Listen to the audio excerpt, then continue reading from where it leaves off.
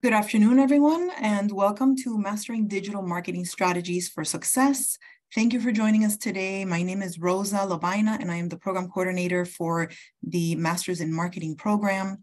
Um, we uh, here at the Masters uh, in Marketing program, we have a 30 credit program focusing on three strategic pillars, digital marketing, brand development, and marketing analytics.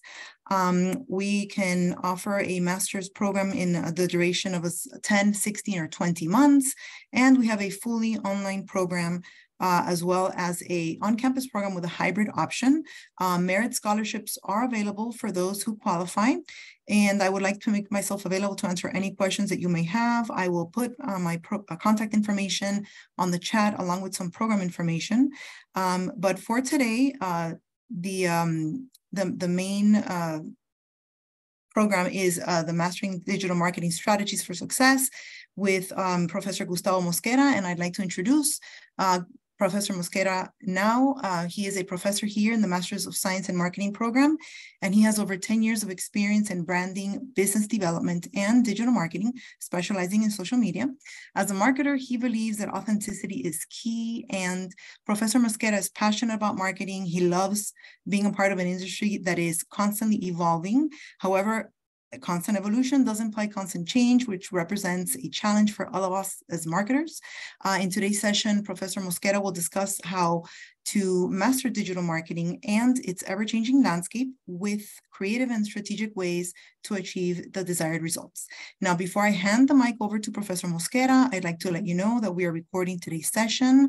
Uh, we have also enabled um, closed caption, and we will be holding a Q&A session at the end. Uh, now, without further ado, here's Professor Mosquera, and we hope you enjoy the rest of your seminar.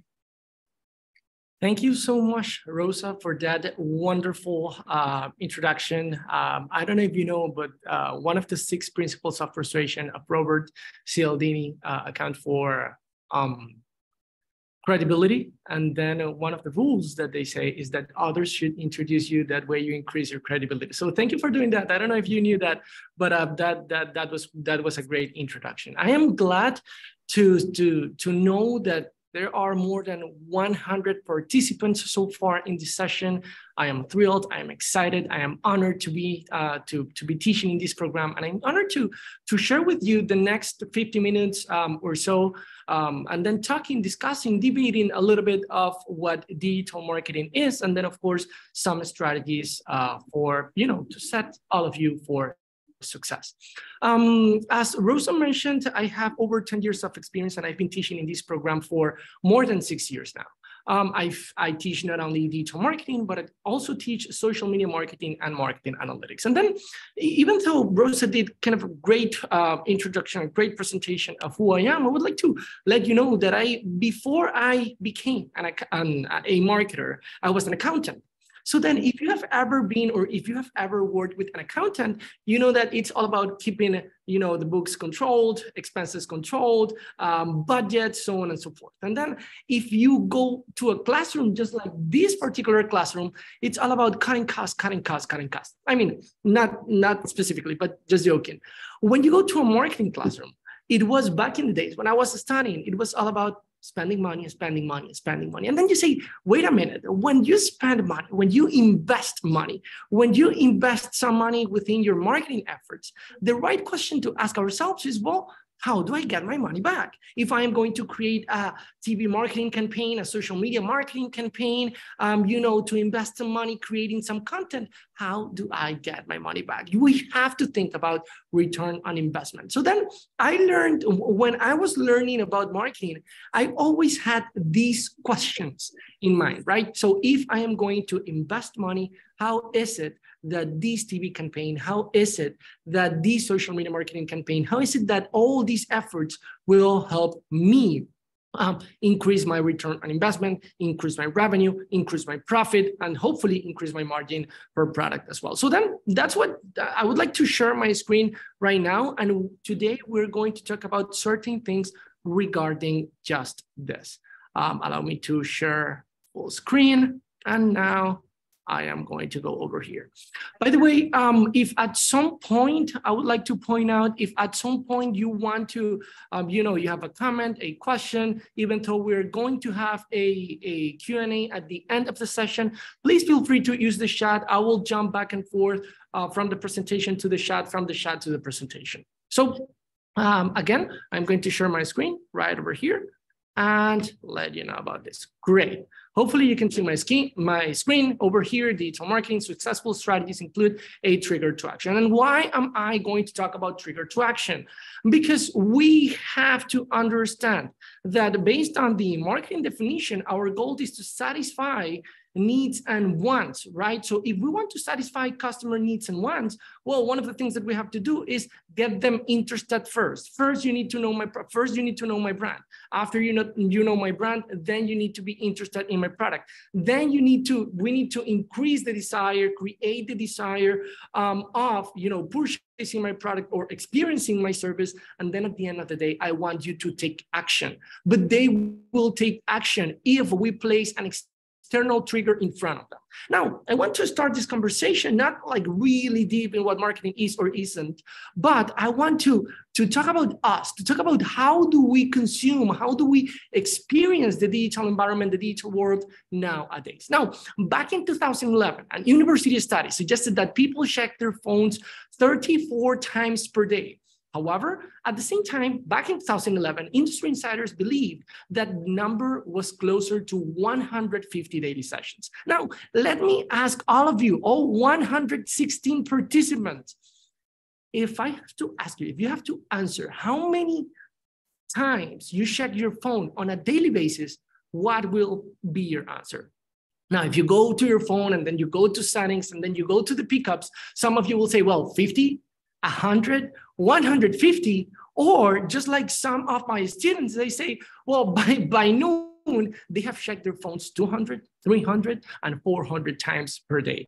I see that you're using the chat, and some of you are saying 50, 250, hundreds of time, over 100. That's great. Now, the, the, the, question that I keep on asking myself is, well, why are we hooked to our phones? If we estimate uh, 60 seconds sessions, right? So one minute per session. And then you say that you are spending 240 or 120 times uh, per day in your phone, you'll say, well, I'm spending two hours, three hours, four hours, even five hours per day using my phone. So then, can we can I use my phone uh, a little bit less? Can I use my time even better? Why do I keep on using my phone?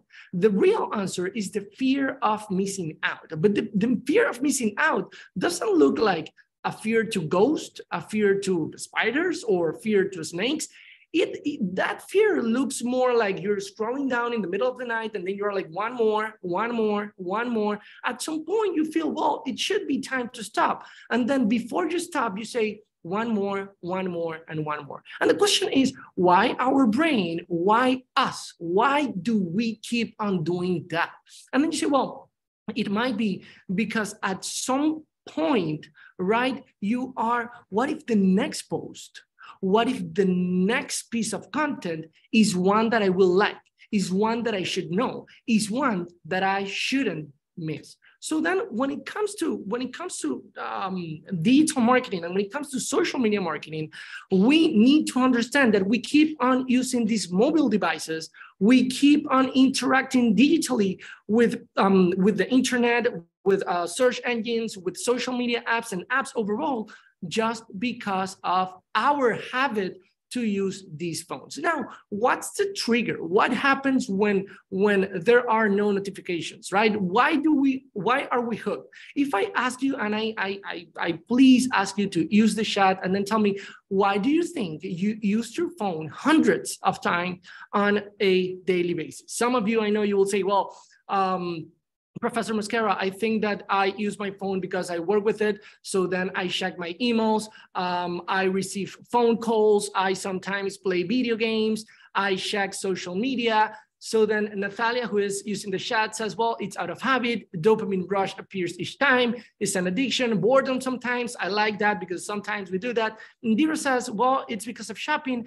And then that's quite right. It's convenient for all of us. I mean, you can work with it. You can connect with your, um, you know, social, with society overall, whether that's family, friends, or, you know, people that you might know. Um, you can shop online. It's convenient for us. But then every single time, what we don't realize is that every single time we check our phones, right? Every single time we receive a notification, what happens, and I'm going to share, I mean, I'm a professor, so, so I'm going to do this, uh, sharing the whiteboard. So what happens is imagine this is you on a regular basis. So every single time you receive a notification, what is going to happen is that your level of dopamine and oxytocin goes up, right? For just a second. And then if you don't believe me, think about just i won't ask you to close your eyes. But then if you if you close your eyes or if you really think about the moment at which you receive a notification let's say that your phone is upside down in front of you let's say that your phone is in your pocket let's say that your phone is in your purse and then at some point of this you know workshop what is going to happen is you receive one two or three notifications. But because you are so, you know, focused in learning the most out of these 50 minutes, you'll be like, all right, I'm not going to check my phone. Now, when you receive the notification, that second, you feel somewhat excited. So then you are releasing dopamine and oxytocin. So then over here, I'm going to use the letter D for dopamine, O for oxytocin. And then those are related, both dopamine and oxytocin are related to and those are hormones of that, that are related to happiness, happiness and love. So then you say, well, if every time I receive a notification, my body releases dopamine and my body releases oxytocin, and then my levels of happiness and love are, you know, higher, then what's the problem? And, and it's not that like I'm a hater and I don't want you to be happy and I don't want you to feel loved. No, not at all. The problem is not the presence of that particular um, hormone. The problem is that we are getting used, right? And this is exactly why I am not a graphic designer and I'm a marketer. This is what happens. Now we're used to be right over here right? So what happens when you don't receive a notification? What happens when you don't receive a social media interaction? What happens when you don't receive a phone call in you know a certain period of time? What happens when you don't receive an email in a certain period of time? Then we start feeling like, all right, now we are back to normal, but this doesn't feel normal anymore. Now normal feels like I am missing something the habit now is to go back to the phone and then you keep on checking what you were checking. I know that it has happened to you plenty of times because it has happened to me plenty of times, right?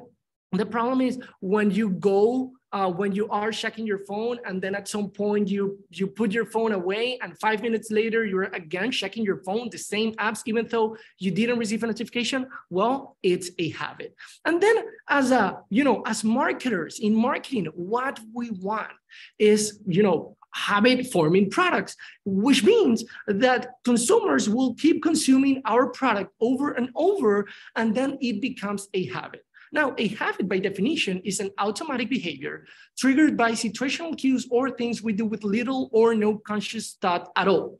So statistics show that 95% of the decision we, the decisions we make as consumers are unconscious. I wouldn't say they are unconscious, um, uh, but at subconscious, which means um, we have solved the problem the same way many times. We are okay with the solution now without, so let's say that you're sleepy. So then every single time you're sleepy, you drink coffee. So then whenever you say, well, if I am sleepy, I am going to drink coffee, how do I solve the problem? Do I make the coffee on my own?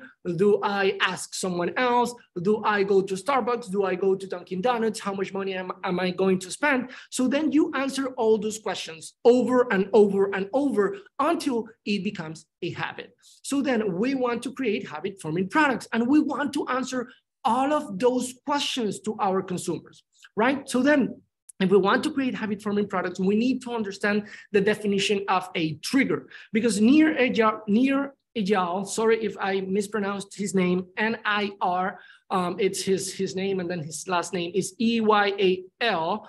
Um, he, in his book, Hook, defines a process by which we create habit forming products. And the first thing that we need to be aware of is that we need to place external triggers. The notification by which we release dopamine and oxytocin um, triggers, that's an external trigger that will trigger something internally. And that internal thing, it's dopamine and oxytocin. And that emotion, it's, it's powerful enough so that we are going to perform an action, which is we're going to check our phones. After we check our phones, we will invest time, we will invest some effort with your brand. So then what we want is to place a call to action. And a call to action doesn't look like you know a book now call to action button in a in a digital marketing in a in a in a digital website. That might be the case but those are not the only call to actions. So then we have to define internal triggers which is a connection between an emotion and an action. And think about it. When you don't know a brand when you have never heard about a brand what type of content should will actually pull you into that brand? Oh, you would say, well, the type of content that will excite me, the type of content that will inspire me, the type of content that will make me feel something that I'm related to that brand. Actually, nowadays we talk about something that is called crowd culture. So then different from traditional media, different from what we were doing back in the 1990s, different from branded, branded content that was, you know, um, typical when in, in, TV campaigns back in the 1990s, early 2000s. Nowadays, we talk about crowd culture, which means I need to feel empathy with what, what I'm seeing. I need to feel that I am part of that brand and that the brand is part of my conversation. So then digital media allowed us you know to communicate at higher speed with with with um, with our potential consumers and then it also allows us to reach more audience more segments and more personas. But we have to be smart about this because that represents as well a challenge to us. What type of content should I create? I need to join the conversation. And I need to join the conversation not only to speak, but also to listen and reply. Remember, it's a conversation different from a radio campaign, different from you know a billboard, different from a TV campaign. It's not a message that I will broadcast. And once I broadcast the message, boom, I'm done. No, sir. What we're doing here is we are creating bite-sized content. When it comes to digital marketing, what we're doing is we're creating bite-sized content so that we spark something, we spark an emotion, and then that emotion will lead to an interaction between the potential consumer and the brand. So then we have multiple external triggers as brands, as companies, as entrepreneurs, as personal brands. We can create different external triggers. So you have paid triggers, earned triggers, relationship triggers, and own triggers.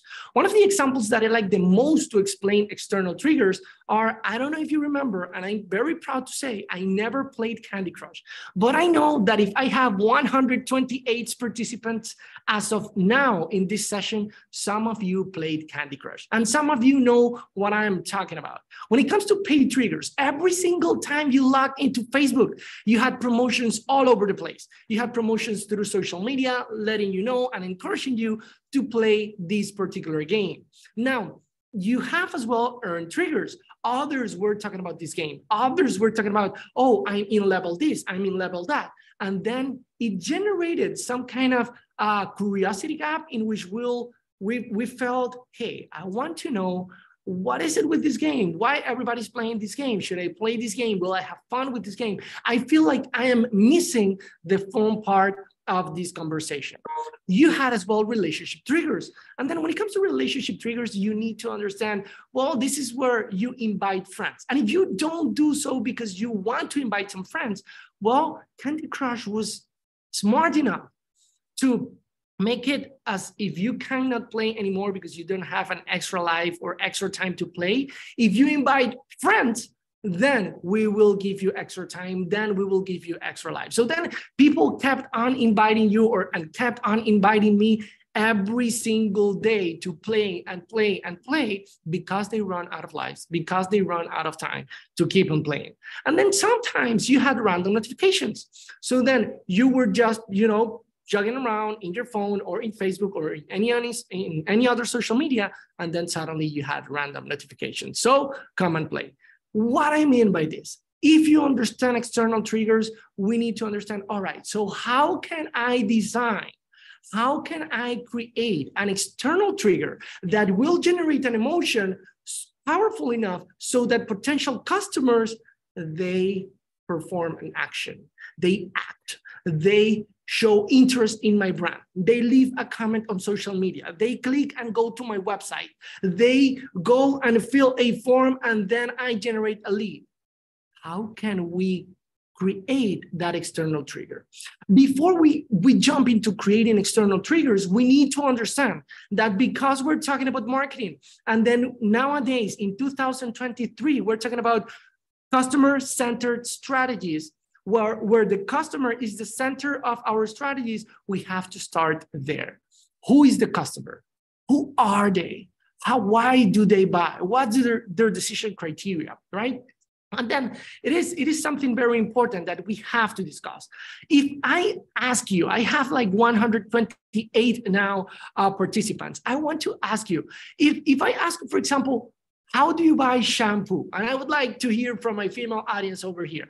How do you buy shampoo? What's the process by which you buy a particular product, just like shampoo? Some of you will say, well, uh, professor, you know what? I do, I shop online. I'll go to Amazon. I'll go to, you know, some beauty websites. I will select the product based on this, this, and that, and then I'll just order the product. And that might be right. Some of you will say, well, before buying a shampoo, I will ask my stylist, I will ask my friend, I will ask someone that you trust. After that, you will go to a store. When you go to the store, you will smell the bottle of shampoo. You will not pay attention to the price, and then you will purchase the product. So what, what, I mean by this is, and, and then if, if you, for example, if you ask me, Indira, I love it. It's her salon and then online ads, that's great. Also, The color of the package is attracting, says Jonathan. Mallory says, my family, um, wait a minute, go to Marshall's, buy best price and consider ingredients or look for the brand. So, so this is something that usually it comes to the conversation. It jumps into the conversation. Ingredients. If you ask me, Gustavo, Professor Mosquera over here about how do you wear shampoo, I will never pay attention to the ingredients. But for some of you, it's important. So then what you what we usually miss is why do we buy a shampoo? Where do when do you identify the need to buy a shampoo? Well when i identify the need might be different from when you identify a need. So then for example if i ask you you might say well i just want a different one. And then in fact i've heard some answers to this question saying well i have one shampoo for when i go out when it's a special occasion. I have shampoo for you know daily usage. I have multiple shampoos. If you ask me when i run out of shampoos then i go buy a new one. So then it's quite important that we, we know, we understand when our consumers identify an issue. Because if you ask, and, and this is statistically speaking, I'm not saying that it's, uh, that it's uh, all cases are like this, but then statistically speaking, speaking, females will have two, three, and four bottles of shampoo, while men will have one, max two bottles of shampoo. So then usually we don't need to have multiple. Um, women will uh, like to have multiple. So then they identify an issue and then they go and research for solutions. And why do, why do we need to understand? Why do we need to ask our potential customers? Why do we need to observe our potential customers? Why do we need to do that marketing research, which um, I, I, wish my uh, fellow professor over here, Jackie Tannenbaum, was with me because she will discuss marketing research like no one else, right? So then you have to identify an issue and then research for solutions. And then why is this important? Not only it will give you powerful insights about the consumer, but also it will let you know when and where is the right time to reach that consumer, when that consumer is looking for a solution and where that consumer is going to look for a solution. If that's on YouTube because they watch, you know, YouTube tutorials about shampoos, well, that might be that might be the place to be. Um, so then you might be wasting money on Instagram or Facebook, or maybe they go to TikTok. So then you gotta be on TikTok. Maybe they, they don't go there because you're reach, you're reaching a particular segment that they don't use these platforms. So what platform, platform or platforms do they use? And that's when you will say, well, it's not only about the message, it's also about when I deliver the message and where I will deliver that message. So then whenever you're researching for solutions, let's say that you're online researching for solutions, you will study alternative products, right? So then you say, okay, so then there's always this question when you're about to select a new product. I'm about to buy a new product, and then you think, well, should I buy? Should I really buy this product, or should I keep on using one that already solved my problem before? Meaning, should I use one that I already know? Should I use one that I already know it works and it works for me? So then it all comes down to the fourth step, which is the decision criteria. Some of you will pay attention to the ingredients. Some of you will pay attention to the smell. Some of you will pay attention to the package. But then we all have a decision criteria. If you ask me, I'll pay attention to, hey, package and price, at least when it comes to shampoos, right? But when it comes to other products, such as, I don't know, purchasing a new bicycle, then I have a different decision criteria. Then it's not about price, then it's about quality. So then we need to understand what the decision criteria of our consumer. I won't be able to create a successful marketing strategy if I don't understand how my customer buys, why they buy, where they buy, and when they buy.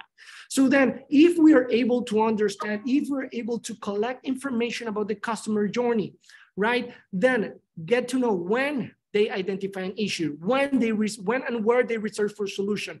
How is it that, or when it comes to the, this comparison where, where they study alternative products, well, who is my competition? And then how and why will they buy the product, then you will have enough information to create powerful and successful marketing strategies. But then, of course, uh, it all comes down to what kind of need I am going to satisfy. Is it physiological needs? Is it safety needs? Is it belongingness and love, esteem needs, or self-actualization? This is, and, and this this part, this particular conversation leads me to um, uh, this this slide that I had over here, which is, well, we need to define marketing those I know that there are 124 uh, people over here as of now, and then I want to probably expose you to the definition of marketing because this is something that usually happens to me. When i'm teaching and i ask you hey what what comes to your mind? Whenever you um jonathan yes it applies to business as well i can definitely go back to to these slides so then what happens when when i ask what comes to your mind whenever i ask you the question what is marketing right some of you and most of you actually will answer, well, marketing is all about communicating. It's all about advertising. It's all about communication. And while marketing includes and involves a little bit of, you know, communication, a little bit of promotion, a little bit of advertising, we have to think as well that marketing, first and foremost, is a set of tools and institutions that will help you create, deliver, communicate and establish value.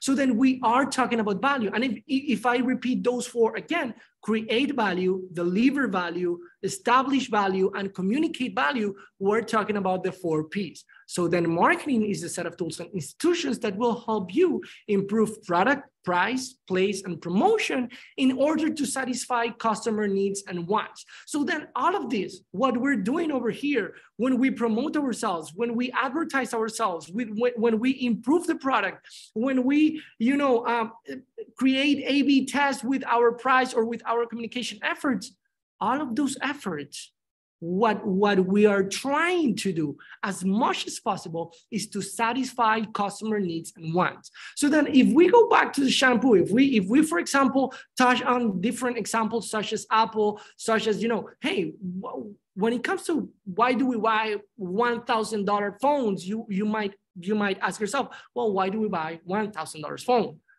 $900, $800, you know, $1,200. Why do we keep on spending this amount of money. And then you say, well, it's not only about the fact that I need to communicate. The need is that I need to communicate. I want an iPhone. I want a, a smartphone and a Samsung, whatever it is. So maybe the need is you need to eat. I want a pizza. I mean, while you should have a salad or something like that. So then we need to understand what's the need. The need is that you need to communicate. Now, if you can point out the difference between needs and wants, you will know, hey, this is the need that I'm satisfying. This is how I create the desire to buy my product. So then we are going to uh, talk about, no, I'm going to skip this uh, and then go over the hook model. So we want to create triggers whether that's with content, different touch points that will generate an emotion in my consumer, that will generate an action. That action will include a variable reward until they're ready to invest in our product. Okay. So then, how does this look when it comes to digital marketing? When it comes to the digital marketing, we need to talk. Well, we said that's marketing. We want to satisfy customer needs and wants. There is traditional marketing, there is digital marketing. So then when it comes to digital marketing, we can point out different um, ways to um, different ways to persuade, different ways to communicate, different ways to deliver that value. So then we're going to talk about websites, search engine optimization. Um, we can talk about Google Ads. We can talk about uh, social media marketing. And then within social media marketing, we can talk about multiple strategies such as user-generated content, influencer marketing, content marketing, so on and so forth. The digital marketing universe is huge. It's huge. But then, as in any other marketing plan, as in any other marketing plan, we have to go over five steps. So then, whenever you create a digital marketing plan, you need to first and foremost be aware, be clear of your marketing objective. So then, and this is kind of a, uh, this is kind of a problem that I've seen, a situation that I've seen a lot when it comes to nowadays and, and then students come back to me and then whenever they're working they will send me an email hey professor uh, we created this social media marketing campaign to create to generate awareness but we were not able to sell one product and i'm like all right um, if your goal is to generate awareness careful with the words if your goal is to generate awareness which if you think about well awareness in terms of analytics in terms of metrics what you're trying to do is increase reach increase impressions increase, you know, whether that's organic reach or paid reach. So then if you are trying to, you know, expose yourself to as many people as possible, then why were you expecting as a result of your campaign conversions? If we understand that when it comes to digital marketing, we talk about inbound marketing and not outbound marketing, which, which means I want to pull people in, I want to pull users in, then I want to have awareness strategies, consideration strategies, and conversion strategies.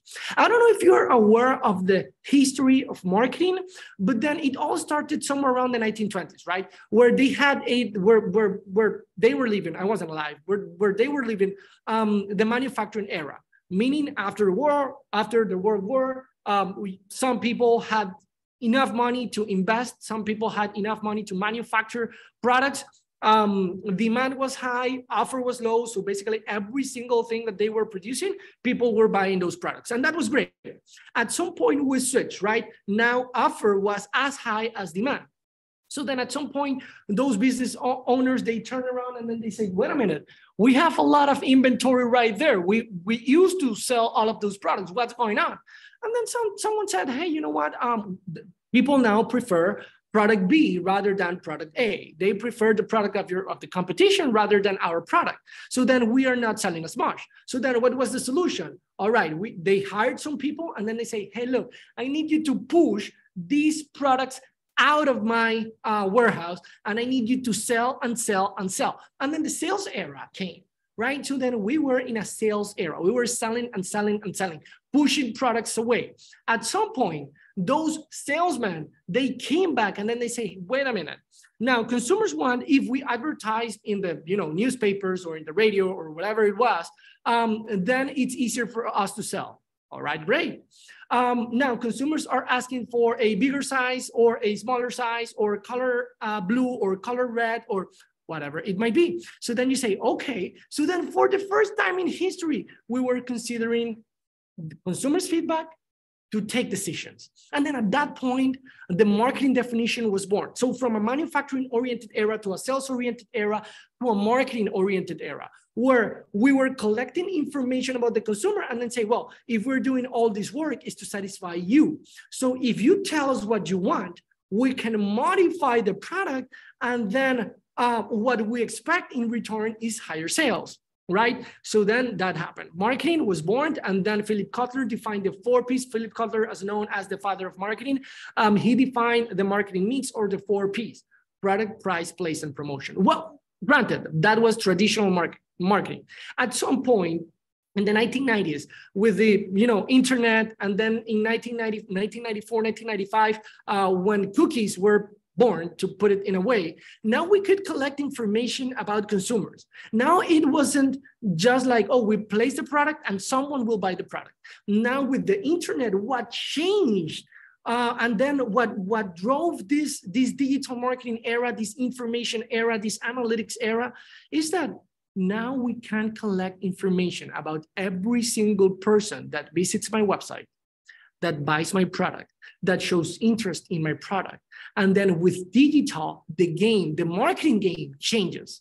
Now it's easier to collect data with big data. It's easier to identify audiences. It's different to identify segments within those audiences, and it's different. And it's it's different. Um, and then of course it's an optimized process how to identify that buyer persona. Now, it plays a challenge as well because we have to create content. And instead of just creating a TV commercial, we place the TV commercial and that's it, boom, branded content. Now we have to start a conversation. Running, it's all about content marketing, it's all about creating content with certain consistency. And then you place that content to initiate a conversation and to manage the flow of that conversation. If you think about it, a social media post will trigger, it's a trigger.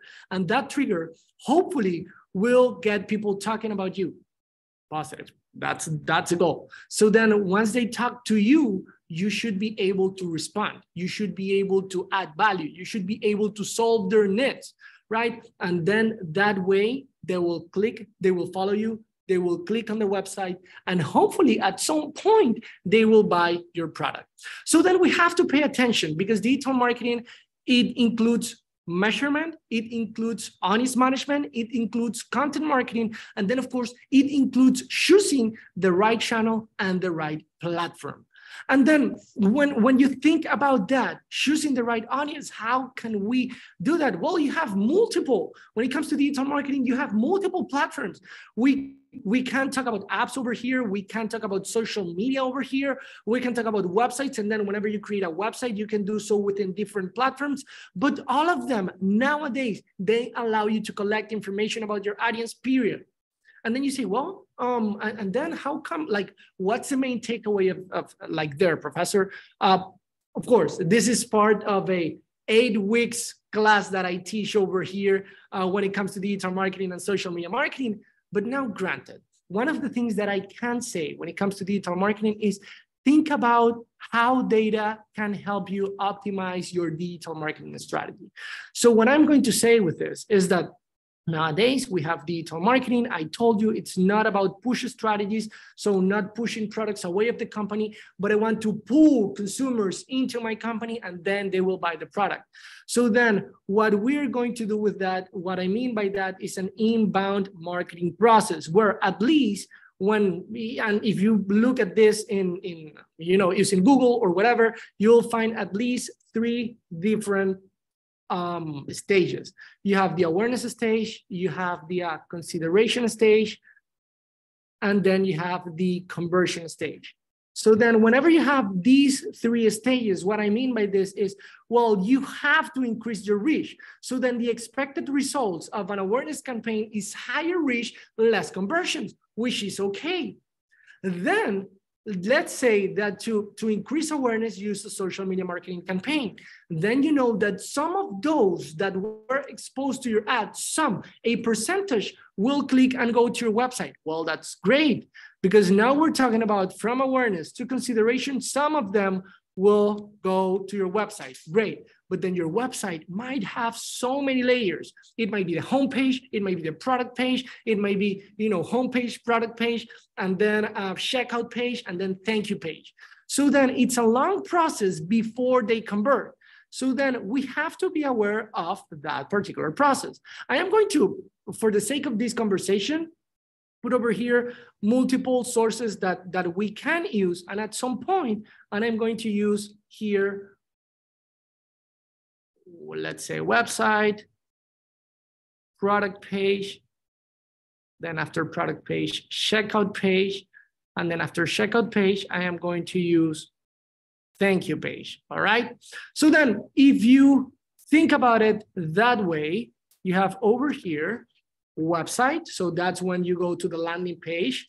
Over here, you have the product page. So then after going to the product page, and then let's assume that you find something interesting or what you were looking for, you go to the checkout page. Let's assume that you are not that kind of person that when, when you go to the you know to the product page you're like oh um, this is in the checkout this is in the cart i added the product to the cart um, but I shouldn't be buying this. So then you go out. So then you have add to cart and then uh, checkout.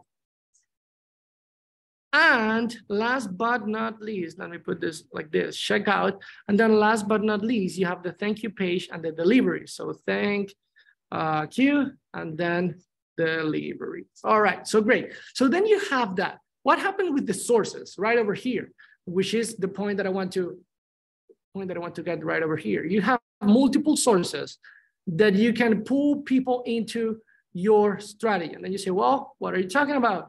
What kind of sources? I know that nowadays the common answer is social media. Boom. So then we can create content organically or we can boost posts, which I don't recommend. Don't boost posts, just try to, you know, promote ads, but using the right tools such as business.facebook.com if we're talking about Facebook, Instagram, or WhatsApp.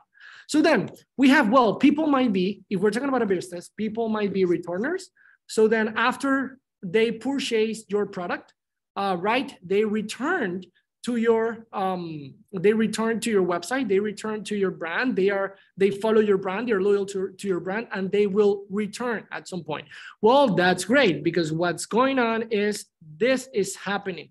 And then what I like about this process is that when we think about this, when we think about this relationship with the customer, I believe we're thinking about marketing because marketing is building a long-term relationship with that customer. It's not about just one a one-time sale, right? That was kind of the, the sales mindset back in 1980s, 19, 1980s, 1990s. Nowadays, we're talking about building long-term relationships. It's way more expensive, okay? to create and to build and to and to acquire a new customers than to retain and maintain a, a current customer. So then some of them will return. Um, some of them we can reach them directly. And then when it comes to direct, the direct source, we're going to have direct source such as, hey, I can place a, a direct mail campaign to your place uh, or to the address that I have from you, or I can send you an email, I can send you a text message, I can send you, I can give you a phone call, and then I can reach out to you directly. We have some of them might be paid, right? So then if you have paid campaigns, we can talk about email marketing paid campaigns, we can talk about social media marketing paid campaigns, and we can talk about viral as well. Viral, word of mouth, um, viral coefficient, multiple names, but all of them refer to the same thing in which we want people to talk about you, to give positive reviews uh, about you to others, and then that way they will influence others to come back. So then, when we see this like this, it's it's it's kind of self-explanatory where you say, oh, okay. So now content marketing, right? If I am going to create content, is different the content that I create for my awareness campaign in which I want to reach out to people, persuade people, build an emotional connection with them so that they feel some somehow um, you know related to the company. They feel that I will solve their problem. They feel that I will satisfy their need and wants, and then they want to know more. If you are able to generate that interest if you are able to say, well, I want to know more, then and only then they will go from a social media post to your profile to your website, right? So we're talking about a process called AIDA. Where, oh, sorry about that. I had the color in white. So here, awareness, right? Uh, awareness, interest, desire, and action. So then if you think about bite-sized content, what we're going to do is we're going to create con uh, content to generate awareness, content to increase interest, content to persuade co potential consumers to generate desire, and last but not least, a gentle push to generate action. Now, if we go back to that moment at which I ask you, hey, tell me about the definition of marketing, and some of you thought about promotion, I will say, well, a promotion is right, right over here. Once you're interested in the product, once you know the product, once you want, hey, I want the product, but it's that I added the product to the cart and I left the journey, right? And then you have that information because you have Google Analytics and you have other apps that will help you collect that information. If you're using Shopify, Shopify will give you that information. Those who abandoned the journey, those who added something to the cart and abandoned the journey, now I can create a custom message for you. And what will that message say? Well, here is it's a limited offer. You have a 10 or 20% discount, $5 for you, just because blah, blah, blah. But then it's an incentive to push that sale. But if you think about that incentive at the very beginning of the journey, then it won't work because I don't know who you are. I don't know who's your brand. I don't know if you will, you know, um, solve my problem. I don't know if you understand me. I don't know, like I am not related to you.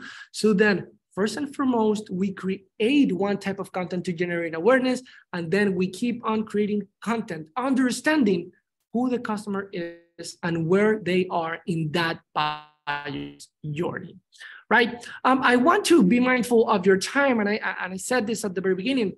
Um, uh, so I, I will just just try to close in the next uh, five or ten minutes.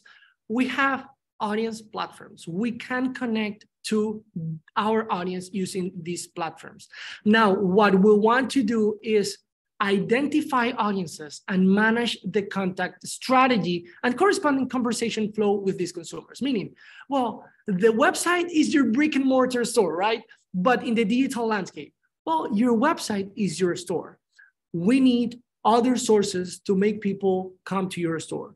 We know that some of them will search online, then we need to understand how to create search uh, ads. We need to know how to create display ads. Some of them will use social media. We need to understand how to create social media marketing strategies. And then when it comes to social media marketing strategies, the answer is no. It's not about self promotion and it's not about being, you know, present in every single app it's being present in the right app where your consumer is and not only where your consumer is but where your consumer is willing, the, the motivation, it's it aligns with your objectives. Hey, it's different the Gustavo that is on Instagram, it's different from the Gustavo that is on LinkedIn. If that's the case with your audience, if that's the case with your segment, then you need to know where to put your efforts, where to invest your money so that you will receive in return a higher return on investment. Okay, so then be mindful that you have audiences, which is kind of, if you think about a big circle, you have audiences. So then let's say that your reach is only to the United States. Then within the United States, you have multiple and, and, and multiple uh, different segments or consumers, consumer segments. And then of course, once they go down the funnel, once they follow you, once they go to the website, now you can identify them. So for example, and I will use an example, how can I ident identify a persona and customize a, you know, a, a, message for them. Think about when you go to Nike.com, for example. If you go to Nike.com, then let's say you're a man, then you go to the men's tab, and then you go to clothing, and then you're interested in a yellow t-shirt, right? And then you click on that product, but then you leave the journey. Well, now you know that that person is interested in a yellow shirt. It's now it's not about now it's not about you know promoting the brand inspiring you, telling, you know, placing uh, one of the Just Do It campaigns in front of you. It's all about a carousel or a sales campaign that places that product in front of you and other t-shirts that you might like. So then you're interested. So then you're just ready to buy.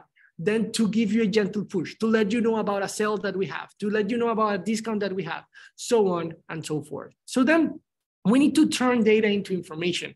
And for me, this is what digital marketing is about and the challenge that some, a, lot of people are missing out there. We want to turn data into information. We want to turn all the information into information that we can use to optimize our digital marketing strategy. If we learn how to create insights from that data, and, and that's a game changer when it comes to digital marketing, then we will create valuable insights. And based on those valuable insights, we will take better decisions. And then when we take better decisions, we will optimize the use of our budget.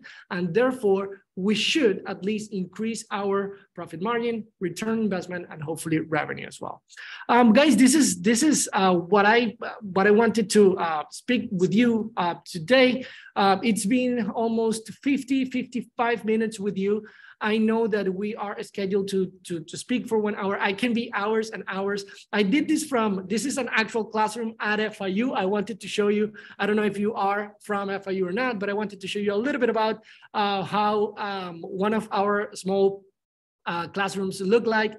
This is, I've been teaching, not in this class, classroom. We have at least three buildings um, in the College Business complex, but but then again, uh, hopefully this is, this is uh, something that, that motivates you to, to come over here and then to learn more about digital marketing, social media marketing, and then branding, digital and analytics overall. Um, thank you. This is, I'm going to open the room for, for Q&A, for, for, you know, questions and answers. Uh, hopefully if you have some questions, you can, you can use the chat. You can, I don't know if you can unmute yourself, but if you, if you want, use, use the chat, ask a question, and we can be here for at least 10, 15 minutes uh, before we uh, close the webinar, if that sounds okay. Jonathan is the Q&A section is up. You can use the chat and I'll be here. Eric, thank you uh, for those kind words. You were amazing. You are, uh, all of you, you were kind of an amazing crowd. So interacting over here, that's that's what I like. Uh, Amy, uh, graduate of UCF here, and I appreciated listening to your classroom today. Then, of course, all you're always welcome, Amy. And then try to, if again, if you're not planning to come over here, just connect with me online and then I can answer as many questions as you have. Um, Jonathan says, I'm going to ask a question right over here. He's in the chat, of course. Ale Noguera, thank you, thank you. Um, Sue, could you share some of the electives uh, we can choose from and how many electives do we take in the program? Um, that will be a question for Rosa. Um, again, I teach social media marketing and digital marketing. Um, then of course, I'm not the only professor that teaches uh, digital marketing. So then um, I'm pretty sure you will have in social media marketing. It depends on when you start, uh, if you have before digital marketing and what electives you can choose. But Rosa will be able to, to answer that, that question. I, I guess she'll do that in the chat. Uh, Jonathan, if I'm implementing an awareness strategy, what should I expect as a result? So I always, and, and this is a great question. I always think about metrics. I always think about analytics. I told you at the very beginning, I, I, I graduated as an accountant first, and then I graduated as a marketer.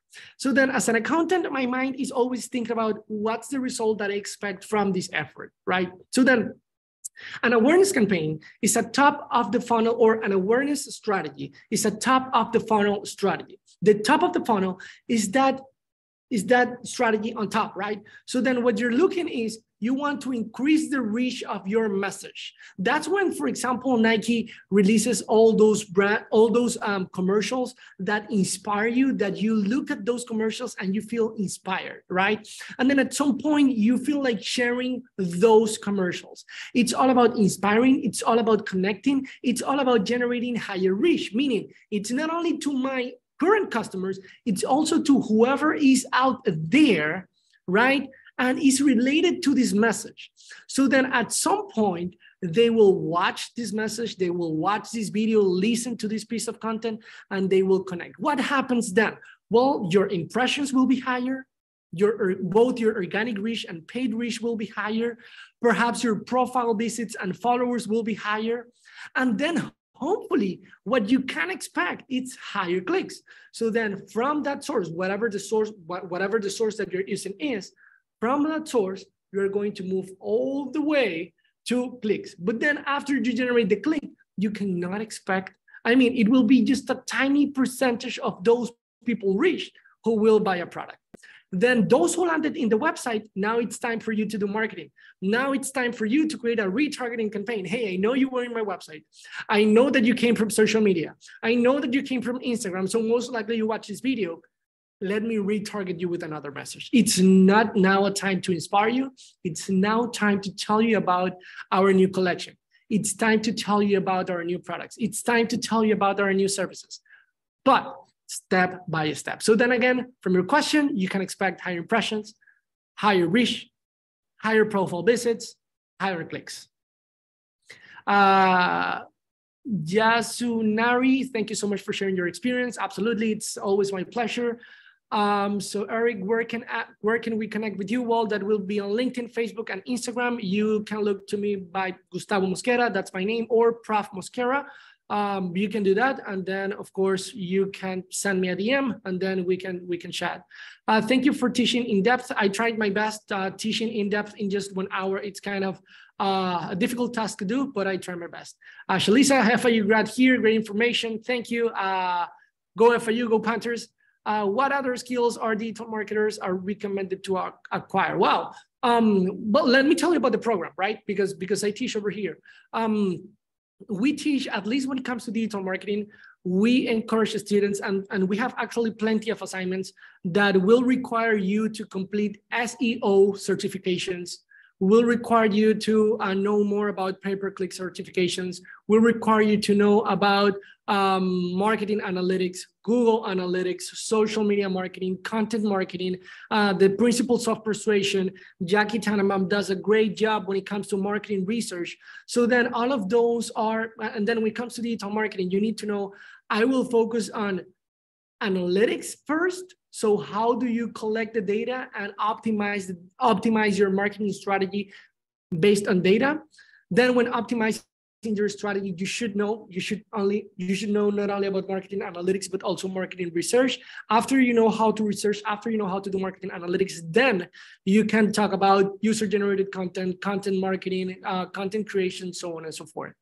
Uh, Claude, uh, can we create content without any purpose to sell, to build credibility, just because we love the subject, service, or product? Does these come off as more um, athletic? Well, um, Claude, yes, you can definitely create content without any purpose to sell, but to build a community is is a purpose it's an objective so if you for example you said that you love the subject or the topic that you're talking about well it means that you want to create a personal brand so then if you're a personal brand and then you love the topic, you love the subject and you want to share your information, that means you want to, you know, portray yourself as a as an industry leader in whatever the topic is. So then coming from your passion, you want to share content. And then whenever you share content, what it's going to happen is at some point, people will start connecting with you. And then when people start connecting with you, you have to, you know, join the conversation, be part of the conversation. It's 50% talking, 50% listening. So then you will create your community. And at some point you will say, well, what do we do? Do we go to a, you know, over here, over there? Um, how can we you know do something with this community with this information uh, so on and so forth so but but yes creating a community is definitely one valid goal um, Sue, no, thank you. Martha, thank you. I do appreciate it. The program includes AI for marketing. Yes, that I know at least three different classes, and mine, it's one of them. We discuss different AI. I mean, not all of them, because nowadays we have a vast um, you know, variety of, of artificial intelligence programs and softwares and, and apps that help you in marketing. But then, yes, we teach you how to how to do that. The curriculum for the MSM. Oh, thank you, Rosa. Uh, wow, a lot of questions. So I think I will answer Mary's question. How would you say marketing uh, marketing and experience differs from marketing a physical product? Um, this is this is kind of I will answer this question, Mary, with a with an example that we had in, in the classroom this last Saturday, right? There was a there was a group. It was their final project, and they they were uh, they created a social media marketing plan for one skin spa. Okay, so then where where usually people can go and and then have some facials and things for for their skins, manicure, pedicure, so on and so forth. Now, of course, it's it's a service what they're offering and they you know suggested to let people know the price people know the experience people know blah blah blah. But then at some point we said well let's go back to the very basic because over here we're talking about influencer marketing campaign which is good.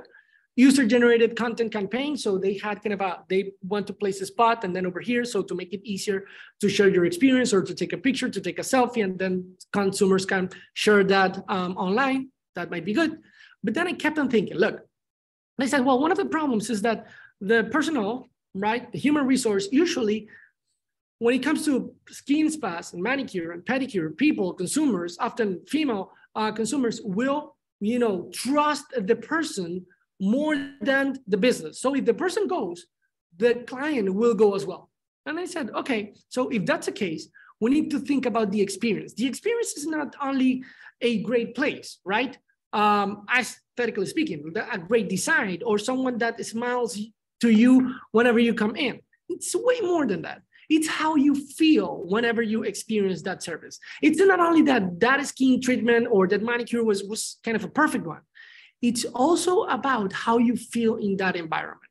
So then if you keep on thinking about the emotional connection that you have with the business, then your job your job will be easy not, that it will be easy sorry but it will be clear to you that your job as a business owner or as a marketing manager of that business is to promote is to create a better experience and to communicate the emotional experience that you're going to have there. So it's a place where you're going to build memories with your daughter. So it's when your daughter is going to have her first manicure all together, and then you will remember that forever. It's where you're going to go with your best friend and receive some treatments. And then as soon as you switch the scope, as soon as you are clear about that objective, you'll say, okay, now as a business, I can share, I, I am clear about what the experience means, what's the emotional, you know, what's the emotional I would say bond with with um, with the business and the, between the business and the consumer. and then you will try to create that. So then whatever communication effort, whether that's website, social media, message, video, um, email marketing, whatever it is, you will try to communicate just that experience. So in simple words, how can you really, like when it comes to experience or service, how can you really help? How can you really communicate the value to the consumer?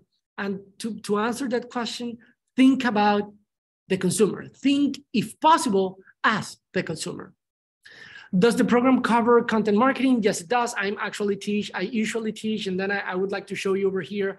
Um, I usually uh, bring one guest speaker, and then so we go over a little bit of lighting, a little bit of audio, a little bit of um, you know um, videography and photography. So then we have one or two classes about that. It's not, and, and I will have to say this, it's not a content creation program. So then meaning you will learn how to uh, write emails. You will learn how to blog. You will learn how to um, you know create videos for personal brands but it's not about production. So then if the question is will i be able to produce a whole you know um, short film uh, when i'm out of the program? The answer is no. But will you be exposed to content creation in different forms? The answer is yes. Uh, bah, bah, bah. so thank you rosa for sharing my linkedin uh, great energy during your presentation. Passion is something that I have, so thank you. I have a background and two degrees in architecture. I'm a visual person and would like to dive into marketing. And then you're welcome. Let me tell you, this program has been designed not only by us professors, but we have a panel of experts. We have a panel of industry experts, CEO, marketing managers from different companies, not only over here in Miami, but all over the US. And they tell us, hey, look, in the industry, this is a problem that we're having you need to teach this. So then we are constantly evolving and then we have people you know from different backgrounds. So anthony uh axel you're definitely more than welcome. Just reach out to to rosa and she will give you more information. Uh shalisa how can we apply this to real estate to to since real estate is not always a multiple purchase type product? Well relation i mean um it, it depends right? If you're asking me from a um real estate agent uh, standpoint, or if you're asking me from a real estate company um, standpoint, it will be marketed differently because from an agent standpoint, you want to build trust with that potential customer, uh, and from a real estate. But but then again, I mean, data. Uh, and then let me give you a, a, brief example. You can create ads. And then whenever you create ads, you can select the interest of the person. So then let's say that you go to business.facebook.com, you create your business profile, you create your ads manager. And whenever you create your ad, you will say, well, I want to target those who are interested in purchasing a house from, you know, um, purchasing a house overall, whatever, uh, purchasing a house in Miami or in Weston or in Fort Lauderdale or whatever it is, well, you can target male or female or all of them. Um, you can target using, you know, a certain age range. You can target based on real estate interest um, in the next, in the, in the past 15 or 30 days so that you're not people who were interested a year ago and then only over here in Miami. So then that, that can be your strategy. So then you can definitely target people who are interested in real estate. Well, I mean, I, am talking about a house. It can be, you know, a commercial establishment. Who knows? Uh, so then we'll need to know more about your example. What has you most excited for the future of marketing? Introduction of AI. Um, definitely, artificial intelligence is something that I believe it's going to change and it's going to shape the next um, era of marketing. Um, and, and, that era of marketing is is fueled by data. Um, if you think about if you think about AI, I think it's going to have more data than us than ever before. So think about a year and uh, we're in April, so a year and four months ago, uh, Meta, Mark Zuckerberg introduced the uh, Quest. Now we are in the Quest 2 and the Quest 2 Pro, something like that. So it's constantly evolving. Now, if you put those goggles, right, can you imagine a custom experience for um, every single one of us? So I usually tell to my wife, and I usually discuss this with my wife. I say, look, what about if now online uh, when it comes to online education and we are developing certain things not ready but there are certain ideas going around and developing that can you imagine that instead of going into a zoom session we can all put some goggles and we're in a classroom and then when it comes to the classroom, you have screens all over the classroom because again, it's a digital classroom. And then every single one of you can um, see examples that are, you know, tailored to your interest. So if you're interested in real estate, you will see an, an, an ad or an example about that. If you're interested in the sports industry, you will see an ad about that. And that will increase the experience. Now, while we are having a, a better online experience, now it's not that you are only receiving an experience, you're also contributing with your data. So then every single time you contribute with your data, what you engage with, what you search for, and so on and so forth, you are giving as well information to that particular company to uh, better know you and then better target you. So then, yeah, artificial intelligence and data, I believe it's it's uh, the next big thing about uh, marketing. Um, so Rosa answering questions about uh, bah, bah, bah, perfect. All right. So I think I'm done with uh, with questions. Um, I, I, would like to thank you. It's 2 uh, 10 p.m. Uh, so I would like to thank you, thank you, thank you from the bottom of my heart. You have my contact information. If you need uh, something from me, uh, just connect with me. And definitely, I'm excited to see some of you over here, if not all of you over here. And then, of course, uh, hopefully you will join our next um, session. Rosa, it's all yours now.